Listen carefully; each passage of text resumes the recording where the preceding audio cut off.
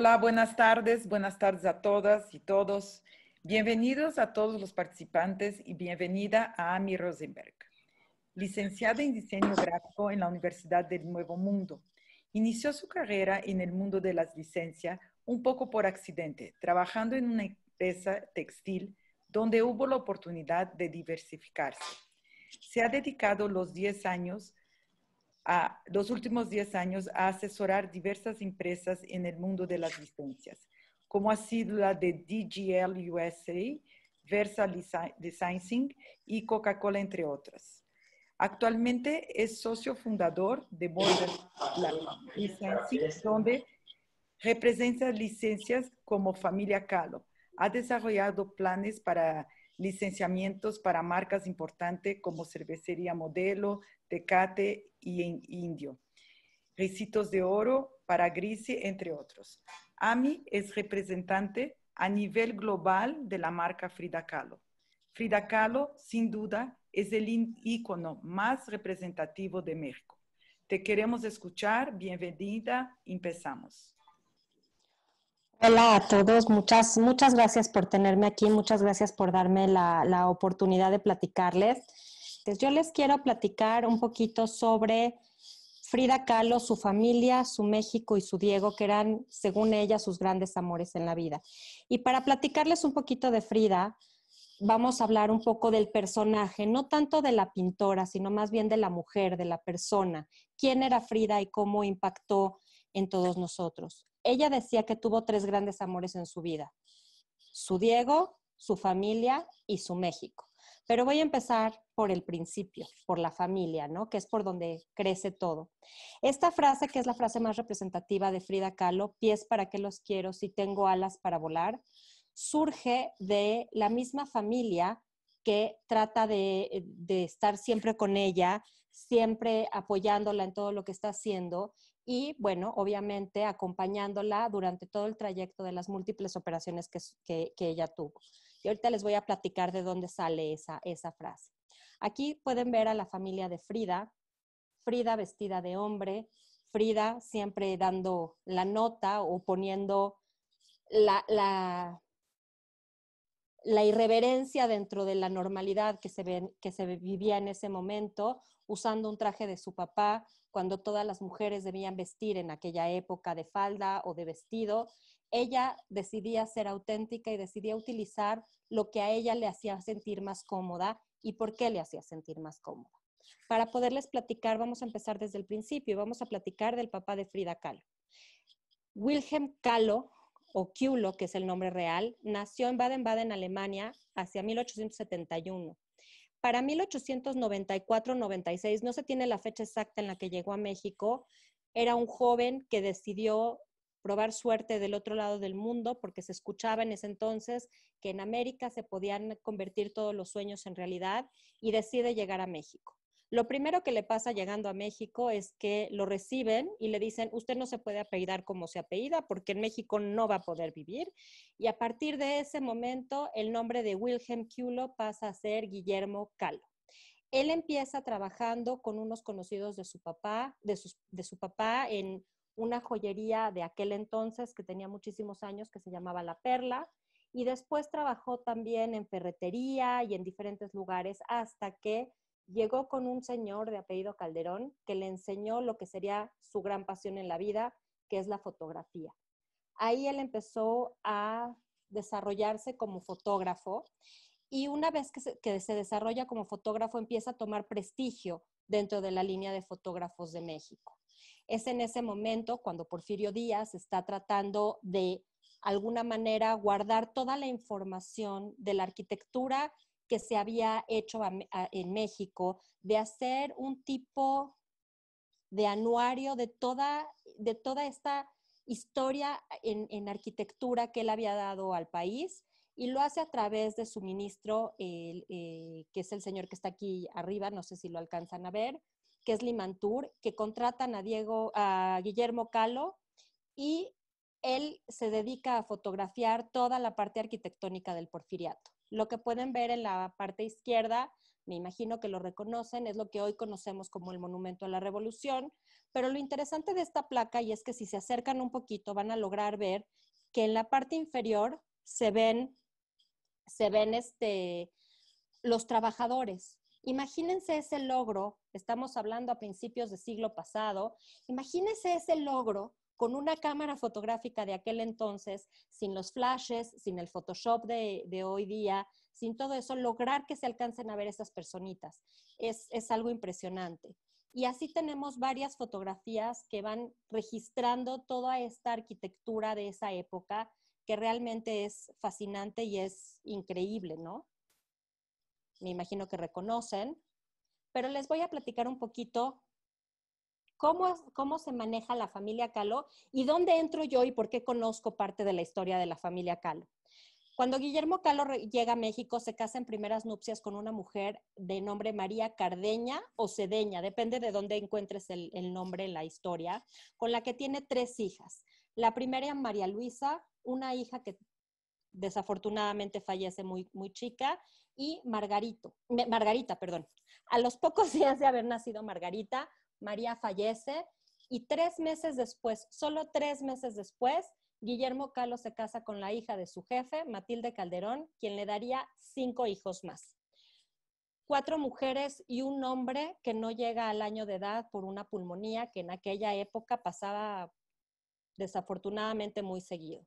Y tiene a Matilde, a Adriana, a Frida y a Cristina. Si alcanzan a ver aquí, la única que tiene hijos es Cristina. Yo trabajo directamente con la nieta de Cristina, por eso tengo acceso a toda esta información de la familia Calo. María Luisa nunca se casa, Margarita profesa como monja de claustro y al morir su madre tienen que vivir en un internado hasta los siete años de María Luisa y los tres años de Margarita y después se unen a la familia con Matilde y con sus hermanas con las que tienen una muy buena relación toda su vida.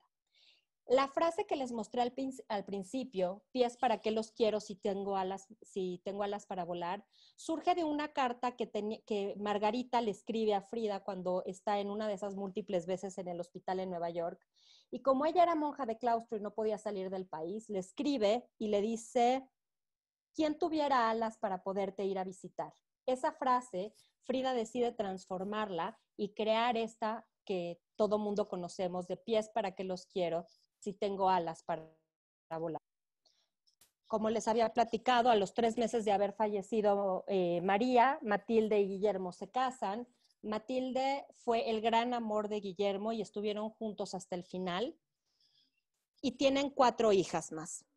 Matilde, hija, a la que Frida todo el tiempo molestaba y decía que era la más feita, pero la más simpática de todas, se fugó con Francisco Hernández cosa que para la época, si nos vamos a principios otra vez del siglo pasado, pues era algo impresionantemente grave, ¿no? Pero después recalcula y se casa bajo el rito católico porque ella era una devota de esta religión y decide que hay que hacer las cosas como se deben de hacer. Ellos no tienen, no tienen hijos. Adriana, que es la hermana más fotografiada por, por parte de, de Guillermo, se casa con el güero Veraza y como él era viudo, tenía dos hijos, Adriana cuida y de alguna manera cría a los hijos de Veraza. Y luego está Cristina, su hermana menor. Solamente había 11 meses de diferencia entre Frida y Cristina. Cristina se casa con un señor de apellido Pinedo que la abandona al poco tiempo de nacer su hijo menor Antonio.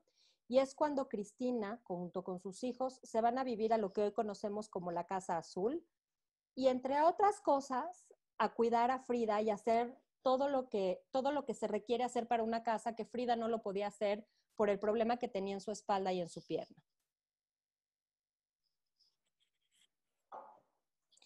Frida nace el 6 de julio de 1907, pero la verdad es que a ella le gustaba decir que había nacido en 1910 y no crean que es porque a las mujeres nos gusta quitarnos la edad, eso verdaderamente no era lo importante para ella. Ella lo que quería decir y demostrar es que ella había venido al mundo a revolucionar y así realmente es como ella se sentía y por eso le gustaba decir que había nacido en 1910. De hecho, eh, ella se hace una fiesta que resultó ser muy famosa en la época, cuando cumple 40 años oficialmente, donde ella se festeja sus 37 años porque ella decide que oficialmente había nacido en 1910. Frida, sin duda alguna, hoy es el icono más representativo de México. Según la Secretaría de Turismo, hay tres razones por las que los turistas vienen a México. Una es a visitar eh, la catedral, a la Virgen de Guadalupe. Otra es a visitar eh, las pirámides, que si bien no son de la Ciudad de México, la Ciudad de México se las ha apropiado. Y el museo más visitado de la ciudad es la Casa Azul. Bueno, era hasta antes de la pandemia, ahora pues vamos a ver qué sucede después. Ella nace en un momento histórico muy importante porque es un momento de cambio, es un momento donde se empieza a ver la desigualdad, pero en todos los niveles, y ella estaba convencida que había que trabajar a favor de esto. A los seis años le da poliomielitis y eso hace que se quede en casa, que pierda un año de estudios y que se vuelva mucho más apegada a su papá fotógrafo, que la lleva con él a todas las tomas que va a hacer. Y el padre además es epiléptico y entonces Frida decide que cuando ella crezca quiere ser doctora porque quiere ayudar a la gente que como ella tuvo polio o como su papá son epilépticos. Y estudia en la preparatoria, en la Escuela Nacional Preparatoria de México, donde es la primera vez que conoce a Diego Rivera porque él estaba pintando el mural que se encuentra en el auditorio. Estudiando en la, en la escuela, en, un, en la Escuela Nacional Preparatoria, donde habían más de 2.000 estudiantes, solamente 35 eran mujeres. Y se los pongo porque es muy importante ver en qué momento histórico vivía Frida con respecto a las mujeres y a lo que se podía, se debía o no se debía hacer.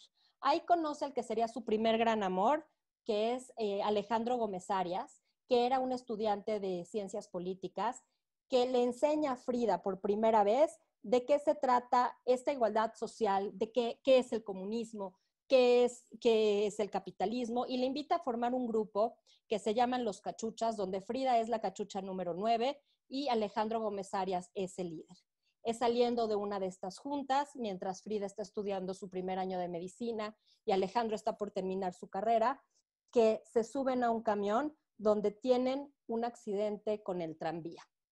Ese tranvía que le impacta en el camión donde venía Frida, venía sosteniéndose de un tubo, ese tubo le pasa por el estómago y le rompe la pelvis en tres pedazos. Frida, un buen samaritano, decide que la va a ayudar porque tiene un tubo atravesado y le saca en el lugar del accidente, le saca el tubo y de milagro no se muere. Entonces Frida revive una vez más.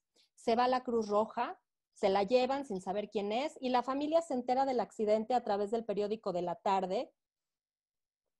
Y primero tienen que ir a ver realmente qué va a pasar, va, va a sobrevivir, cómo le van a avisar a la mamá, qué va a suceder.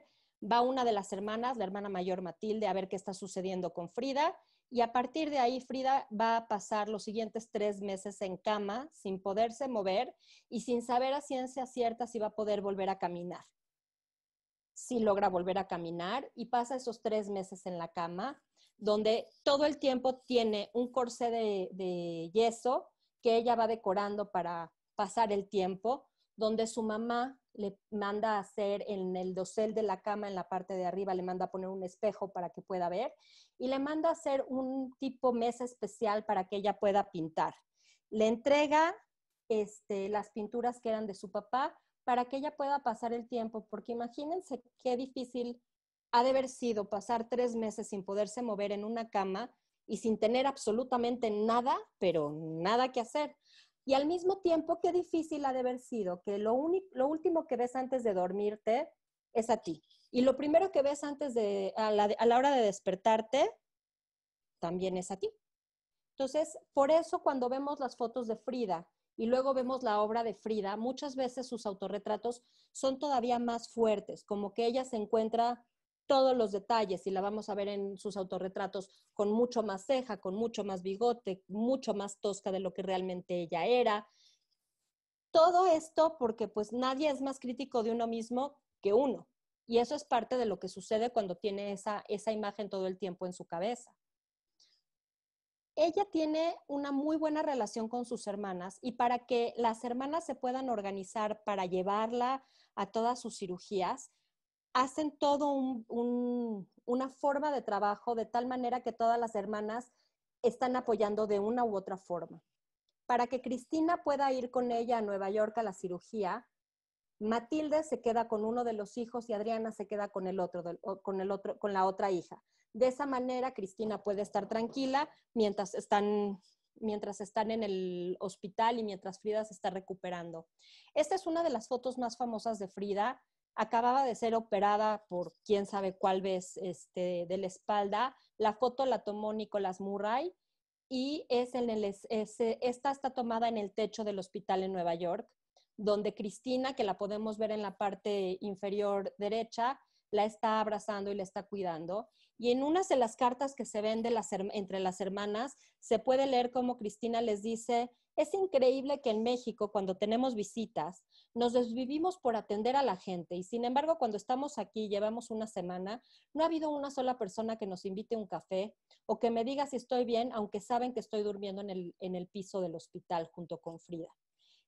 Eran cosas que ellas de verdad no, no entendían. En otra de las cartas, Frida le escribe a una de sus hermanas y le dice que le encarga mucho pasar a ver a Diego y asegurarse que Diego haya comido, se haya bañado, pero lo que más risa da de esa carta es que dice y se haya cortado las uñas.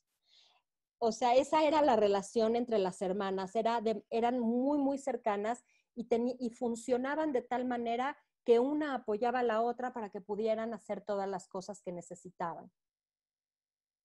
Como ninguna de las hermanas fue madre de forma propia, el tener dos sobrinos las hizo desbocar ante ellos todo su amor maternal. Aquí la podemos ver con Isolda y con Antonio. Antonio fallece en el 72 eh, de un ataque al corazón, muy, muy joven. Isolda fallece en el 2007. Isolda es, se vuelve la confidente de su tía Frida y ella es la que al final del día va recibiendo toda esta información de la familia, todos los álbumes de fotos, la ropa, la joyería, que por suerte guardó, porque si no, hoy día no tendríamos tanta información de, Frida como la, como la que tenemos. Cuando Isolda se vuelve señorita, Frida le dice a Cristina que no pueden seguir viviendo en la Casa Azul porque puede correr peligro con, con el tío Diego y ella le regala a su hermana una casa que está a pocas cuadras de la Casa Azul, que también era propiedad de la familia, pero que estaba que era propiedad de todas las hermanas, y Frida les compra a todas las hermanas su parte y se la regala a, Cristina para que se mude a vivir con sus hijos y puedan proteger de alguna manera a la sobrina. Lo interesante de esta casa no es que se la regalara Frida a, a Cristina para salvar a su, a su sobrina, sino que esa es la casa donde Frida recibe en realidad más adelante a todos sus amantes y es donde puede tener todas estas fiestas que se vuelven muy famosas de la época. Hoy día esta casa no está abierta al público, sin embargo ahí son las oficinas de, la familia. Y de esto nos pasamos a, a cómo conoce Frida a Diego y por qué se vuelve su gran amor. Dice Frida que tuvo dos grandes accidentes en su vida, uno con el, con el tranvía y el otro fue Diego. Y lo dice porque las reglas sociales de la época marcaban un estilo de vida que no le tocó, por supuesto, a ella vivirlas. Como les había platicado, Frida conoce a Diego por primera vez en la Escuela Nacional Preparatoria mientras ella está estudiando y cuando ella está en cama por el accidente y empieza a dibujar, se entera que Diego Rivera está haciendo un mural en la Secretaría de Educación Pública y decide llevarle uno de sus trabajos, que es esta charola que vemos aquí, que es una charola de amapolas, a preguntarle a Diego qué le parecía, si ella debía dedicarse a la pintura. Diego le pareció muy simpático que una muchachita, porque le llevaba 22 años, tan jovencita se acercara sin ningún desenfado a preguntarle eso y le contesta, dicen que le contesta eh, que sí, que definitivamente ella se debe dedicar a pintar porque ella pinta desde el fondo de su corazón, cuando él lo único que hace es retratar lo que ve en el, eh, eh, que está sucediendo en el país.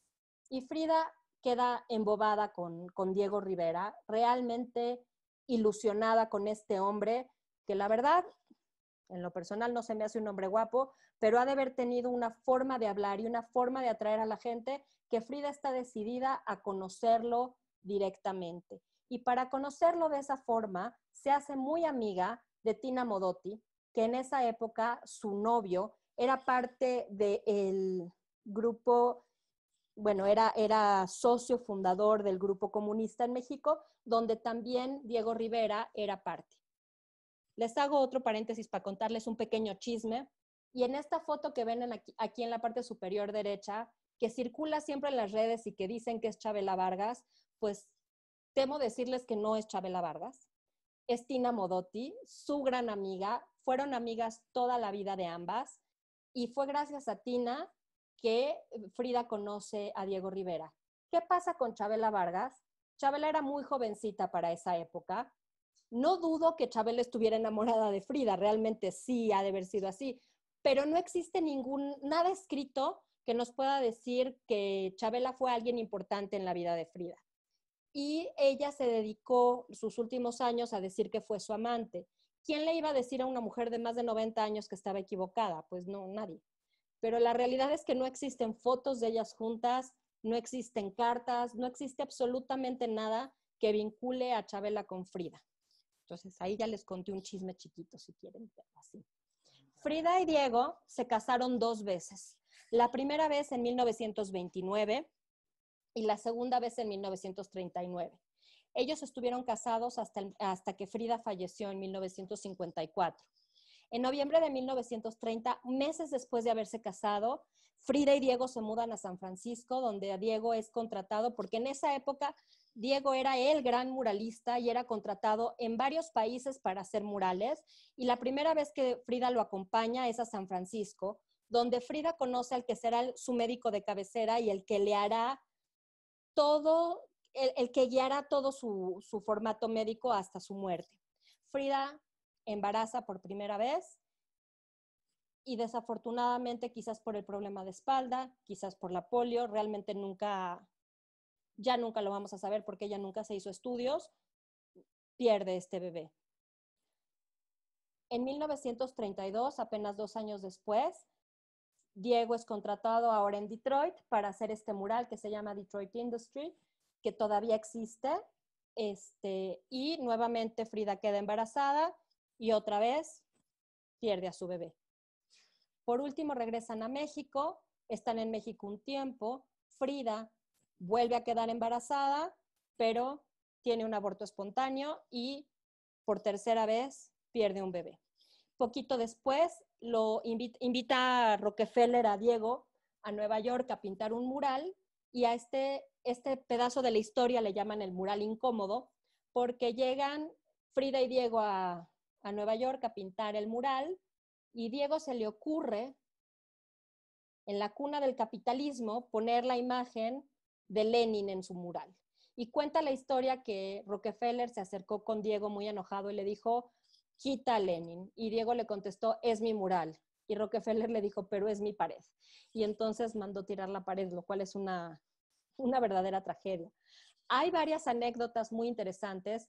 Yo no sé por qué tengo la sensación, pero en esa época la gente se veía, se vestía en colores monocromáticos. Eran azules, grises, cafés, o sea, todo eran monocromáticos. Ustedes imagínense en ese Nueva York de aquella época de 1934, que llega una mujer vestida con uno de estos vestidos mexicanos todos eh, coloridos, combinados de formas muy extrañas, y dicen que se le acercó un niño pequeño a Frida y le preguntó, ¿y el circo a dónde viene? Y eso a Frida le causó mucha gracia porque decía que a, Estados, a, los, a los americanos lo que les hacía falta era reírse, era saberse burlar de ellos mismos, que eso era algo que ella no podía entender porque los mexicanos somos muy así, nos podemos burlar, o los latinos en general somos muy así, nos podemos burlar de nosotros. Lo que hizo ella a través de su pintura fue desahogar estas frustraciones que tuvo, pero no porque las desahogó en su pintura. Quiere decir que Frida fue una mujer que, que, la pasó todo el tiempo mal, o que la pasó todo el tiempo amargada, o que la pasó todo el tiempo triste por no haber tenido hijos. Fue un momento muy difícil, sin embargo, lo pudo expresar en su pintura y pudo pasar la hoja. Lo que realmente le molestaba a Frida en esa época es que Diego, mujer que pintaba, mujer que pasaba por él. Y eso Frida de verdad no lo podía soportar, no entendía cómo Diego estaba con ella y podía tener tantas amantes. Y Diego le decía que pues que así eran las cosas y como él mantenía la casa, pues esas eran sus reglas y ni modo. Cuando regresan de, de Nueva York, se mudan a la calle de Londres, Londres 247. En esa época, la casa era una casa blanca, con las ventanas con las orillas doradas, que Frida con el tiempo la manda pintar de azul, de un color azul añil, porque ella pensaba que ese color realmente espantaba a los malos espíritus y a partir de ese momento la casa se conoció como la Casa Azul. Esa casa fue la casa donde nació y creció Frida. Esa casa era de Guillermo Calo, que después de del accidente de Frida y debido a las múltiples cirugías que tuvo, tuvo que hipotecar la casa y por lo tanto Diego le propone pagar esa hipoteca, pero lo que no le dice es que va a pagar la hipoteca y se va a quedar con la casa. Frida se vuelve a involucrar en el mundo de la política, su esposo es uno de los líderes del movimiento, eh, del, movimiento del, del movimiento y se entera que Trotsky está huyendo de Europa porque Lenin lo quiere matar.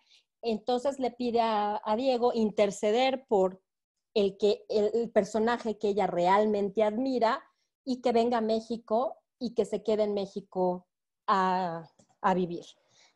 Diego habla con el entonces presidente Lázaro Cárdenas, invitan a Trotsky, Frida personalmente va por él y su esposa a Veracruz y los invita a vivir a la Casa Azul. Pero ¿qué pasa? Frida y Trotsky se enamoran y tienen una relación. Y eso no le parece nada, nada, nada bien a Diego Rivera. Y cuando Diego se entera de esto, por supuesto, corre a Trotsky de la casa y no quiere volver a saber nada de él. Un par de años después, tres años después, Trotsky es asesinado por Mercader en su casa de Coyoacán, que era muy pocas cuadras de la casa de Frida. Y fue tal el impacto de la muerte de Trotsky, que de alguna manera Frida quedó involucrada. Y quedó involucrada porque Mercader conoció a Trotsky a través de Frida. Y entonces Frida pasa un día junto con su hermana Cristina en Lecumberri hasta que le manda una carta a Diego y le dice, oye Panzón, ¿y qué no piensas venir por mí? Y claro que Diego la saca y al poco tiempo retoman su, su relación. En el tiempo que Trotsky vivió con los Rivera Calo, vino mucha gente a conocerlo porque había mucha gente que lo seguía. Entre la gente que, que vino a conocerlo, llegó en el 38 André Breton, que era un poeta y ensayista muy importante. Pero lo más importante de André es que él era el promotor más fuerte de arte surrealista de la época. Y lo que nunca se imaginó él es que cuando venía a visitar a su ídolo, que era Trotsky, él conocería al amor de su vida, que fue Frida Kahlo él quedó enamorado no solamente de la persona, sino también de su obra. Le encantó la obra y la convence que puede ella ser eh, un, exponente de la pintura mexicana importante en la parte surrealista.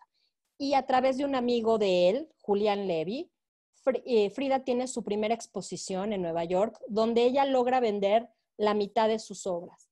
Poco tiempo después, la invita Julián Levy también a París a tener una exposición. Sin embargo, ahí a Frida no le va nada bien, pero si nos fijamos en la época, es un París de la pre-segunda guerra mundial, donde la gente obviamente no estaba interesada tanto en el arte, sino más bien en cómo iban a sobrevivir los momentos de la guerra. Frida regresa a México muy desilusionada, pero se dio cuenta que ella podía ser económicamente autosuficiente. Y en ese momento es el momento en el que ella decide que ya no necesita a Diego para seguir viviendo y entonces se divorcia de Diego Rivera. Durante esa época ella tiene varios amantes. ¿Y por qué sabemos que tiene estos amantes? Porque Frida les hacía o pinturas o les escribía cartas, pero no les escribía cartas bajo su nombre real, sino que lo hacía bajo un seudónimo y el seudónimo era bajo el nombre de Mara. Y esa historia sale porque Muchos de ustedes deben de saber que las películas de Tarzán se filmaban aquí en México. Y eh, Johnny Weissmuller, de hecho, vivía en Acapulco. Todas las actrices que querían de alguna manera despuntar en el mundo del cine, las invitaban a hacer la parte protagonista femenina de Tarzán. Una de esas actrices fue eh, Linda Christian. Ella, eh, cuando va a venir a México, le dicen, te tienes que conseguir que Diego Rivera te pinte un cuadro. Y ella se consigue que Diego le pinte un cuadro. Y cuando les cuenta a Frida y a Diego la historia, les cuenta que su personaje es una sirena que tiene, el único objetivo que ella tiene es que cada 28 días puede salir del mar, le crecen piernas en lugar de su cola de sirena y puede buscar un hombre para reproducirse. Y Frida se enamora de esta parte romántica del personaje y adopta el nombre del personaje que es Mara para firmarle sus cartas a todos sus amantes. Tenemos en la familia, tenemos partes de esas cartas y por eso podemos asegurar que muchos de, estos personajes sí fueron sus amantes. André Breton, Julián Levy, Trotsky, Nicolás Murray, Carlos Pellicer. También hay mucha gente que dice que Frida tuvo amantes femeninas, pero realmente no tenemos ninguna carta, no tenemos ningún elemento que nos los pueda asegurar. Quizás porque en la época también había que guardar las apariencias y ella también se cuidó un poquito. Quizás no, no sabemos. Sabemos de sus amantes masculinos. Esos son los que sí realmente conocemos. Este, para 1953, Frida tiene su, su única exposición en solitario en México, donde ella ya se encontraba muy mal de salud y el doctor le pide y le suplica que no vaya y la instrucción que le da el doctor es, por favor señora, no se levante de la cama. ¿Y qué hace Frida? Frida convence a los que eran sus alumnos en esa época que contraten una mudanza y que contraten una, una ambulancia. Ella se va en la ambulancia, sus alumnos se llevan la cama en un, este, en una mudanza y cuando llega ella se vuelve a acostar en la cama. Y esta anécdota es cierta. Ella llegó a su exposición en la cama y cuando el doctor se la encontró le dijo, pero señora, le dije que no podía levantarse. Yo no me levanté, yo estoy acostadita en mi cama, así vine aquí. Y de ahí surge una de sus frases que en lo particular me gusta mucho, que dice, doctor, si me deja tomarme este tequila, le prometo no beber en mi funeral ese era un poco el humor de Frida con respecto a lo que ella pensaba que había que hacer. Ella sabía que se estaba muriendo y no por eso iba a dejar de disfrutar la vida. Un año después, el 13 de julio de 1954, Frida es encontrada muerta en su cama por el chofer de Diego. Hay quien dice que Diego le ayudó a bien morir. Hay quien dice que fue ella solita. El caso es que Frida muere apenas con 47 años de edad, después de sufrir mucho por las múltiples operaciones y las múltiples eh, problemáticas que tuvo a través de ellas. Y siempre decía, espero alegre la salida y espero no volver jamás. Cuando Frida muere, Diego sale y, le, y, da un, un speech y dice, yo sé que lo que Frida hubiera querido es regalarle esta casa, refiriéndose a la Casa Azul, al pueblo de México. Y es por esa razón que la Casa Azul es propiedad de, los mexicanos. Crea un fideicomiso que cuidó de, toda, de todo lo que era propiedad de, Frida y de Diego hasta la muerte de Dolores Olmedo. Después pasó a ser parte, pasó a ser eh, manejada por el Banco de México Hoy tristemente no está muy claro cómo, cómo la maneja, porque de repente hay obra desaparece, de repente obra no, no existe.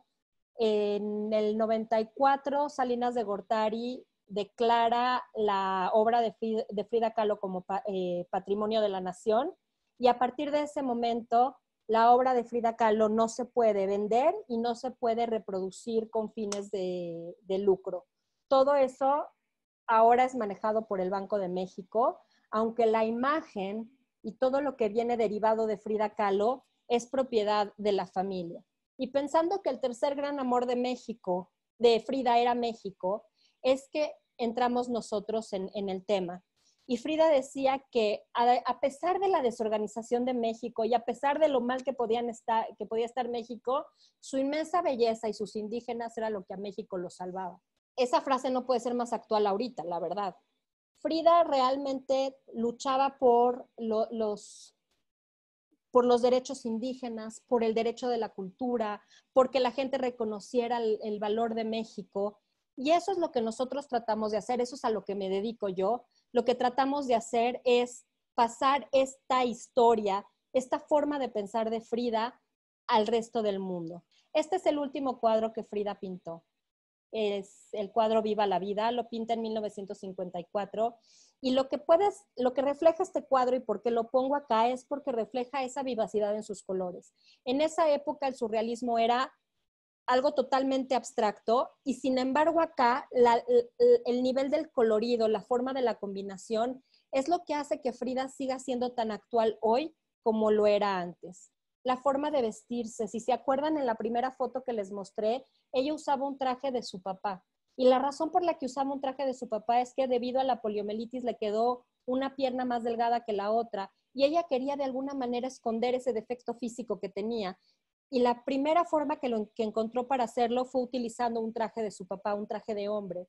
Pero después descubre la belleza de los trajes típicos mexicanos y es cuando ella decide empezarlos a usar. La cosa que es eh, relevante en el caso de Frida es que nunca los usó tal cual los compró, siempre los iba combinando, lo cual en esa época no era políticamente correcto, porque no podías combinar colores que contrastaban o texturas o rayas con cuadros, y si lo, que pueden ver acá es que no nada más lo combinaba, sino que además lo decoraba con su peinado, que siempre utilizó flores endémicas de México para hacerse su peinado, no siempre traía flores en la cabeza, eso lo empezó a hacer cuando fue un poco más madura, pero siempre se decoró la cabeza ya sea con listón, con flores, que se puede ver ahí hasta con mariposas.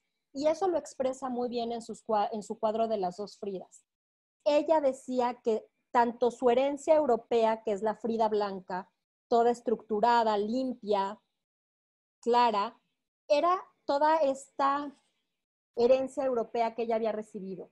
Un padre alemán sumamente estructurado, sumamente eh, cuadrado en ciertas cosas, pero abierto en, en, otras cosas. Por ejemplo, el papá sí acompaña a Frida en su boda con Diego Rivera, mientras que la mamá no lo hace porque siente que su hija está cometiendo un pecado mortal. Y por el otro lado está su parte mexicana, que son estos colores azules y verdes que le dan vida aun cuando haya problemas. Y eso es lo que ella decía que la hacía, que nos hace a los mexicanos algo totalmente distinto, porque muchos de nosotros tenemos esa combinación y eso es lo que nos hace únicos y distintos. Nos podemos burlar de la situación, pero al mismo, podemos al mismo tiempo podemos ser estructurados y claros en lo que queremos. En 1943, a Frida le invitan a ser maestra en la, en la Esmeralda y Frida pensaba realmente que ella no tenía nada que hacer como, como maestra, que ella no tenía nada que aportar. Y sin embargo entra, entra a dar clases y forma un grupo de cuatro pintores. De hecho, una de las pintoras que trabajó con ella se dice que fue Fanny Rabel. Hay quien dice que Fanny fue eh, alumna de Diego, hay quien dice que Fanny fue alumna de Frida, pero que tiene de, cierta manera, que la conoció y que fue cercana a ella, es importante. Y si no, no les ha hecho clic el nombre y se acuerdan en el Depor del mural, el mural está pintado por Fanny Rabel y esto también trae una historia interesante a, la mesa. Cuando los Fridos se crean, Frida decía que toda la vida del mexicano pasaba alrededor de la mesa de la cocina. Y entonces ellos iban a la casa que ya era de la hermana a comer con Frida, a pasar con Frida el tiempo y a ese lugar Frida lo decidió llamar el Mesón de los Gorrones. Y así, así estuvo marcado por mucho tiempo. De hecho, en la cocina existe un mural pintado por Frida que se llama el Mesón de los Gorrones. Un poquito en números. Frida vivió 47 años. Está considerada dentro de los pintores, dentro de los 10 pintores más reconocidos a nivel mundial. Su última obra se vendió por, 8, por más de 8 millones de dólares y es la única mujer que ha aparecido en más de cuatro ocasiones en la revista Vogue en la portada. Nosotros hoy día, ¿cómo mantenemos esta, esta vista de Frida o este, todo lo que Frida representa? Lo mantenemos con más de 40 socios comerciales, más de 1.500 productos desarrollados, más de 6 millones de personas que nos siguen en, en Facebook, más de un millón de seguidores en Instagram. Hace un mes y medio no, la nombraron la reina del Instagram. Y es muy curioso porque Frida decía que uno siempre se tenía que decorar como el mejor de sus cuadros porque nunca sabías quién te iba a fotografiar. Entonces, imagínense que hubiera sido para ella vivir en esta época de Instagram. O sea, definitivamente es la reina de Instagram. Dentro de sus... Hay dos momentos en la historia de Frida que nos llevan a lo que se conoce como el movimiento de la Frida manía. La primera es en los ochentas, cuando Madonna la descubre y compra parte de su obra, que posteriormente es este, subastada en Sotheby's o en Christie's. Este es uno de los cuadros que en el 2000 se subastó por más de 5 millones de dólares, que se llamó Raíces, que es un cuadro pequeño. Y este es el cuadro que les decía hace un momento, que es el último cuadro que, ha, sido subastado por, de Frida Kahlo, que es de 1939 eh, se subastó en el 2016 por más de 8 millones de dólares. Pero ¿cómo si la obra es propiedad de la nación se puede subastar? Porque mucha de esa obra antes de ser eh, nombrada propiedad de la nación ya era de, coleccionistas y ellos sí pueden hacer con la obra realmente lo que quieran, ¿no? En Vogue ha aparecido en diferentes, eh, en diferentes portadas pero ¿qué pasa que si les digo que la portada más conocida, que es la primera del lado izquierdo, que es la del fondo verde con las flores y, esa Frida, se tomó en 1939 cuando la que le sigue, que está eh, frente a un maguey, es una portada que salió en 1937. Frida sigue siendo en Vogue una musa de inspiración.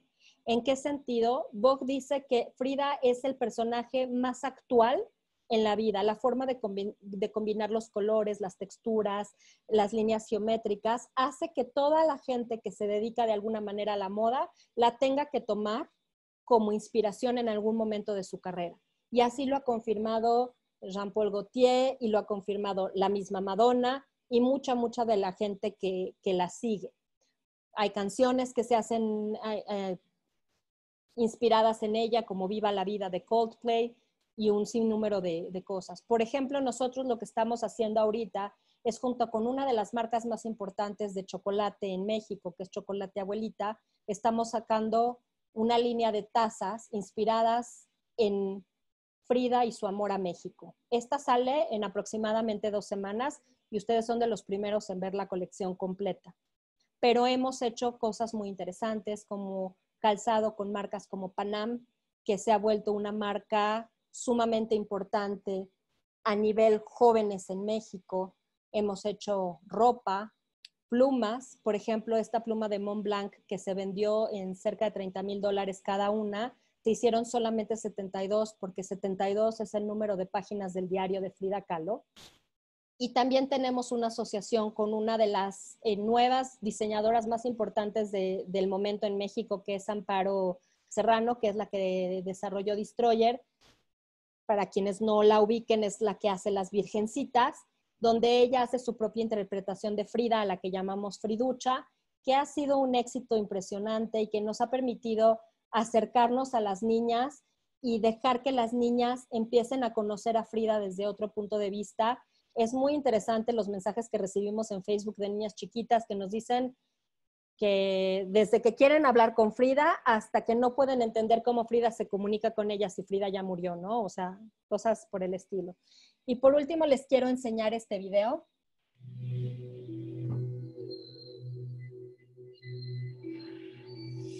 No eran sus cejas lo más representativo de Frida Kahlo, sino su manera de ver el mundo.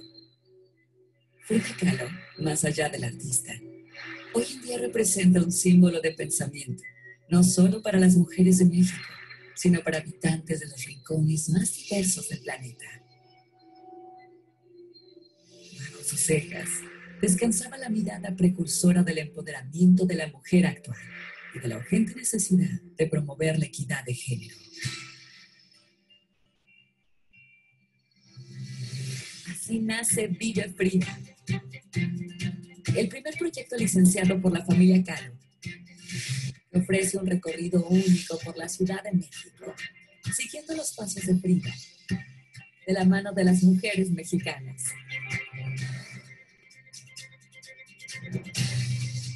Vive Frida es la plataforma que ofrece conocer y apoyar el trabajo de las mujeres indígenas de nuestros pueblos.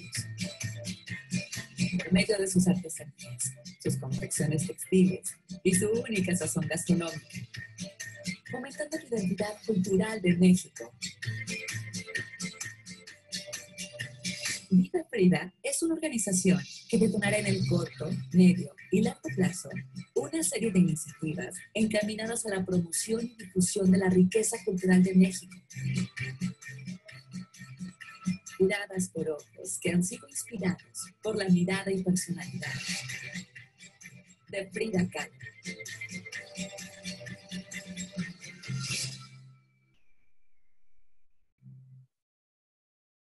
Y bueno, este, con eso termino yo mi exposición y me encantaría escuchar sus comentarios y sus preguntas si es que las quieren compartir con nosotros, claro está. Y les agradezco mucho el tiempo que, que dedicaron a escucharme. Gracias, Emi. Excelente tu exposición, de verdad, un placer escucharte y conocer tantos detalles de la vida de Frida. Aquí tenemos unas preguntitas, si quieres eh, te las voy leyendo y vamos viendo. Entonces te preguntan, veo a Frida siempre parada en perfecto estado. Ella estaba inválida, ¿cierto? Entonces que hay muchas fotos que la ve que estaba muy bien parada. Entonces, ¿cómo explicas esto? Lo que pasa es que Frida no estaba inválida. Frida este, se recupera del accidente, tiene varias cirugías y apenas es en 1953 que pierde la pierna y que, que le ponen una, una, prótesis. Y es cuando empieza a usar la silla de ruedas. Pero hasta antes de eso, ella podía hacer su vida relativamente normal. No, no era una mujer inválida. Y también hay otra pregunta que dice, eh, ¿de dónde tu relación ¿Y en qué trabajas con la familia de Frida? Mi relación es, yo manejo toda la parte del desarrollo de marca y la creación de productos. Trabajo con la familia desde hace poco más de 10 años y fue un poco fortuito que nos conociéramos. Yo estaba dando una plática de cómo, cómo desarrollar marcas. Ahí conocí a la sobrina bisnieta y empezamos a platicar, empezamos a trabajar juntas y lo bonito es que ahora la considero una de mis mejores amigas y realmente ha sido muy, muy, muy padre trabajar con ellas. Ah, muy bien. A ver, explícanos un poquito. Todo lo que sale en las eh, camisetas, en los pantalones, en, las, en los tenis, eh, ¿cómo pasan la relación contigo? ¿Cómo eh, tú lo, lo apruebas o cómo son los, ¿Cómo es ese tema? Lo que yo hago es eh, hacer toda una estrategia para que este, el personaje que conocemos lo podamos ver como un producto aspiracional. Y entonces lo que hacemos es una serie de materiales gráficos que puedan apoyar este desarrollo. Y entonces la puedas pasar a estas playeras o a una botella de vino o a un rompecabezas o a diferentes, o a diferentes productos. Lo que hacemos es buscar esos eh, elementos claves que tiene el personaje con los que te puedes identificar y con los que puedes aspirar a parecerte para traducirlos en, e, materiales gráficos que puedas después aplicar en productos. Eso es lo que, lo que hacemos. Entonces, cualquier eh, prenda o cualquier cosa que tenga la imagen de Frida tiene que pasar por tu licencia. Cualquier cosa, sí, pasa por mi escritorio. sí, prácticamente sí.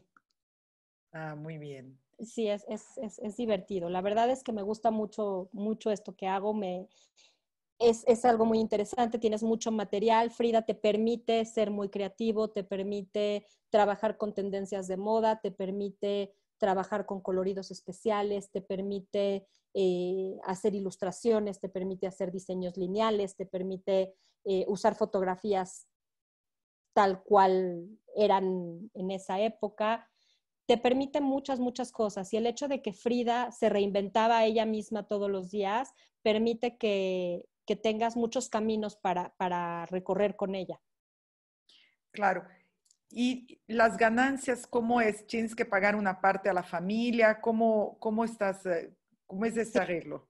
Normalmente es, eh, se define un producto, se define un mercado, se define una proyección de ventas y se paga lo que se llama una regalía por cada producto vendido, que dependiendo el tipo de, mercado y el tipo de producto, es como se, va, como se va definiendo. Así como se encuentra en el mercado, que les debe de pasar a todos, que de repente viene la película del momento y entonces todo es Spider-Man para los niños, todos esos son productos licenciados. Esos productos pagan un porcentaje de su venta al dueño de la marca. Lo mismo sucede con Frida. Ah, ok. Hay una pregunta. El padre de Frida era de origen judío. ¿Ella llegó a tener algún acercamiento a los orígenes de su padre? Este, les quiero aclarar algo. El padre no era de origen judío. Hay una confusión. Eh, la mamá se apellidaba Kaufman y por ahí surge esa confusión. Por ahí hay una carta que Frida dijo que su papá era de origen judío pero realmente el padre se cría como católico. Entonces Frida no tiene ninguna nada que ver con el judaísmo más que la gente que ella fue conociendo a lo largo de, a, lo largo de su vida. Eh, ella cuenta que el papá fue un acérrimo enemigo de Hitler y de la forma de pensar, pero si pensamos en lo que en su forma de pensar y que ella era una persona que buscaba la igualdad entre todos podemos entender que no le parecía para nada que, se hiciera, cuando se enteran todos de, lo sucedido, este, que se hiciera tal grado de, desacreditación a, los judíos. Pero realmente Frida eh, no tiene ningún tipo de relación con, nosotros. Ah, ok. Eh, también preguntan si, eh, si hay una fundación de Frida para los indígenas no hay una fundación como tal, pero muchos de los proyectos que hacemos tienen una causa específica. Por ejemplo, hicimos un proyecto con, con Converse y lo que se ganó de ese proyecto se utilizó para hacer cisternas de captación de agua pluvial para las mujeres más aguas. Nos gusta más trabajar con proyectos muy específicos porque entonces sabemos en dónde va ese dinero y podemos encargarnos de ver que realmente llegue a la gente que tiene que, que, tiene que llegar. La Fundación Frida Kahlo es algo que se va a hacer, todavía no está, no está hecha porque había que hacer mucha parte, hay, mucho tema legal que, se tiene que manejar alrededor de eso, ¿no? Bueno, a mí hay muchas felicitaciones, ahorita te copiamos el chat. Muchas gracias. bueno, pues todo el mundo se quiere como que... Muchas gracias, muchas, muchas gracias. Eh, no sé si hay una pregunta más o algo, o algo, cómo te gustaría concluir la plática a mí.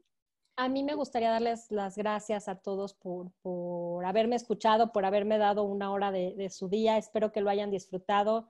Realmente a mí me apasiona mucho el tema de Frida Kahlo, me gusta mucho esto, esto que hago y ya.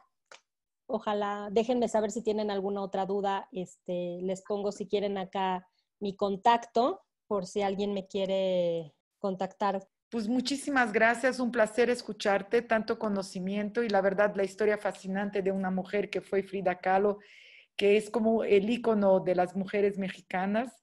Y cada vez descubrimos más cosas de su personalidad y de su encanto, de sus coloridos.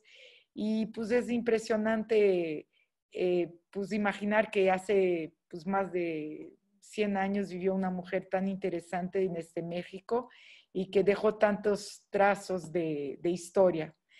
Bueno, muchísimas gracias a mí, es un placer. Gracias a todas las participantes.